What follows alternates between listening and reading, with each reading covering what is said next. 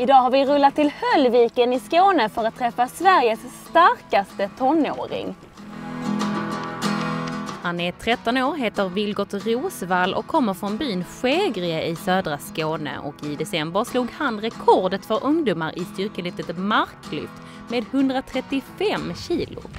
Jag var ganska så pirrig fast pepp på samma gång. Och sen var jag glad och jag tänkte så här, jag kommer klara detta. Det var sån, ja, det var lite virvel, bara olika tankar i huvudet. Eh, det började ganska så mycket för mig. Jag, jag är Sveriges starkaste ungdom, tänkte jag. Jag bara sen, ja.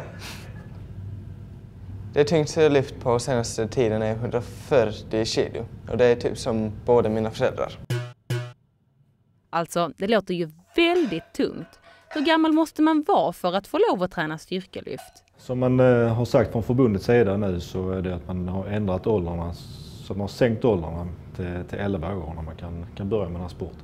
Kan du ändå se att det finns risker med att man börjar med eh, tunga lyft för tidigt? Risken finns ju att man liksom går och pressar sig i tunga lyft eh, som man inte egentligen hanterar. Det är teknik som är det viktiga. Vi har alltid fokus på tekniken. Eh, vi hjälper ungdomarna att lära sig lyften på rätt sätt och eh, göra det under kontrollerade former.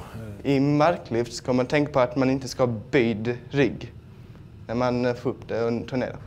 Då kan man skada ryggen.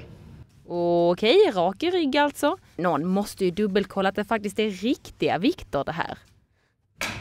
Och det var det. Det här är ju för tungt. Men det kanske är svårt att förstå riktigt hur tungt det är. Finns det någonting annat vi kan lyfta? Man kan lyfta lite vad som helst. Till exempel den här. Jag typ göra så här. Okej. Okay.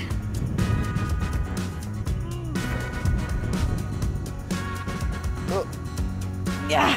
Varför tror du styrkelyft passar dig så bra? Ja, för min...